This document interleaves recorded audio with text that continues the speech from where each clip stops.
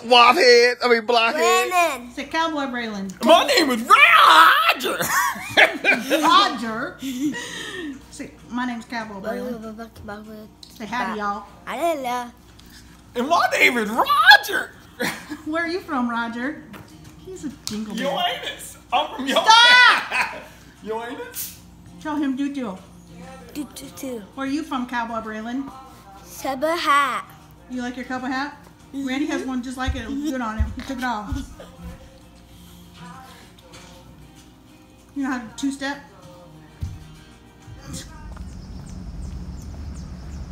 Guess where I'm headed, blockheads? That will be the courthouse, and I will be going for jury duty. I'll let you know how that experience goes. That's what you gotta do. when you're a law-abiding, tax-paying, registered voting voter. It's a privilege. What up, blockheads? Just uh, stopping in here real quick to say hi. Um, see that sticker there? Yes, I was selected for the jury trial today, so I am um, currently on lunch break from that. And thank you, thank you very much. No, thank you, thank you. My food just came with this. We are on lunch break. Um, over at Marlin's getting a quick bite to eat real quick because I got to report back to the courthouse to finish out um, this trial and then we got to deliberate and hopefully um, it won't run past 5 o'clock and I'll have a normal evening but you never know. The judge said it could run into the evening but it should be finished today but yeah I'm doing that today after um, the whole incident with Braylon getting out this morning and the police coming to check because he's figured out how to unlock the top lock. Yeah. So this is after very little sleep last night, blockhead. So say a prayer for me, would you? Let me eat this food. Well, ladies and gentlemen, my civic duty is done. Um, it is 10 minutes before 4. Um, the trial just got over with and we gave our verdict. Um, I was elected as the jury foreman, or was I elected? Or did I get suckered into it? Something like that. Um, it was um, a case, uh, a young man, 19 years old, uh, possession of marijuana less than two ounces and possession of drug paraphernalia. We found him not guilty on both counts. Um, and yeah, I, I mean, there there was many many reasons why we we did not guilty, and we are allowed to talk about the case now that we've rendered the verdict. Um, but I don't really think I'm going to do that. Um, just to let you know that um, it, it was an experience, and um, the uh, state did not prove their case, and that was why we rendered not guilty um, to both counts. So um, yeah, it was an all-day thing, and um, there was what two police officers, three witnesses, and then a forensic specialist that all testified. And um, so yeah, um, not guilty on um, both counts, and that was my jury experience. So maybe tonight, if I get home, I'll vlog a little bit more. I'll tell you a little bit more about it. But um, done. On my way to pick up some medicine for Braylon, and home I go. Talk to you later, blockheads.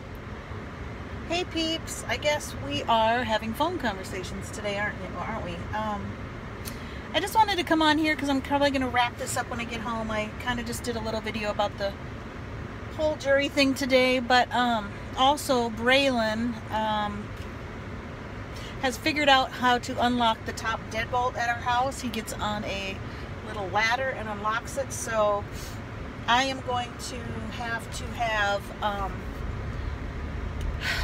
some two-way key locks um, installed. Uh, my uh, friend um, recommended what to have done, so I'm going to have to do that. Um, the police were called this morning because he did get outside and he did run in the middle of the road. It's not the first time it's happened. It's not going to be the last time it's happened, okay? Um, this is what happens when you are raising a child with Down syndrome, ADHD, and autism. I've got the full package. Um, you know, people people can judge me and say, "How do you get out of the house? Why didn't you want him to get out of the house?" You know, I don't need. We don't need none of that here. You know, um, if I get in the shower, okay, to take a shower, um, I can't do that without putting him in the room with me. You know, unless we have doors on the locks, he'll get out. You know, I mean, there's times when you don't have them in your sight every single minute. That's just life. Stuff happens.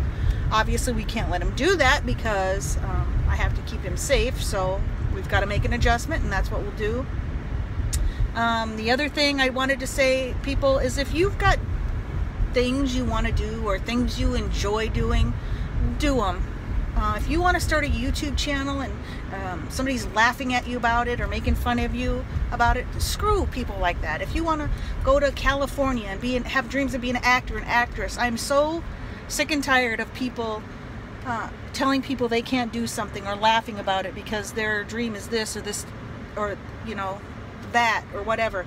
Just do it, people. You know what are you without your dreams and and and um, just go for them and don't let people get you down. Don't let people talking behind your back get you down. Don't let people you know making fun of you or calling you names get you down. There's so many young kids today in this world that you know people make fun of them or bully them or whatever because they want to do this or they want to do that or their hobbies this or or they believe they can do this and um, and it affects them for the rest of their life you know?